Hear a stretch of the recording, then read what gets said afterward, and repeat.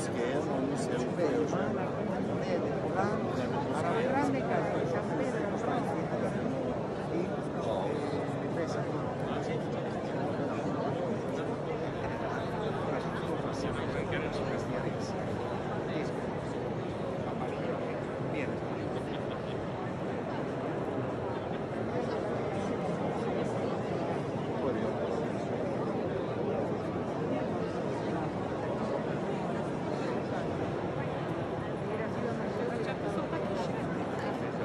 Ma